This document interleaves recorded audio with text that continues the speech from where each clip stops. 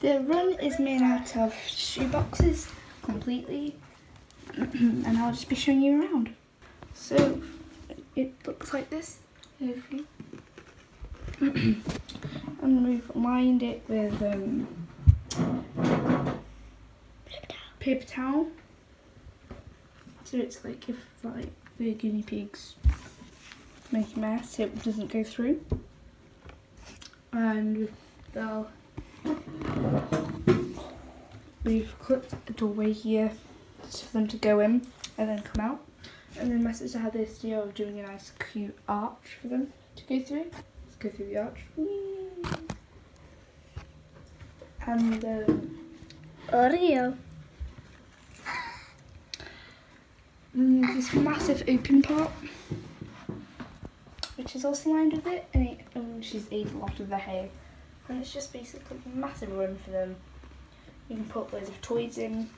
I think it's pretty good. Fluffy has tried it once.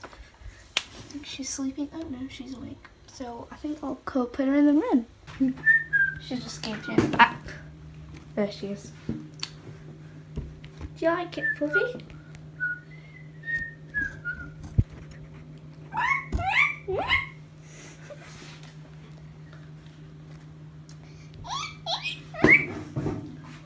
Fluffy?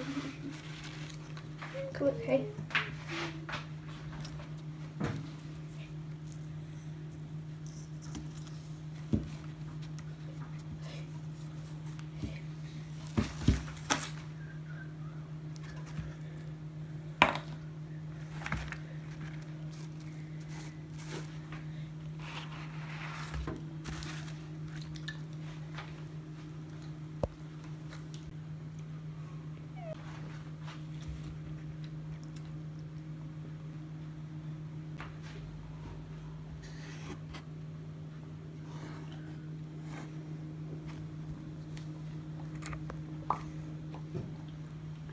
Thank you for watching this video. I hope this inspired you to do one as well. It took us half an hour to build this. I think it was pretty right. Uh, so what we did, we just cut this.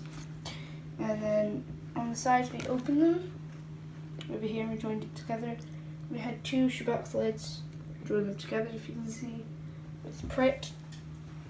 It makes this really nice guinea pig run. It's only a short one, but I think it's nice. Thank you for watching and I'll see you later.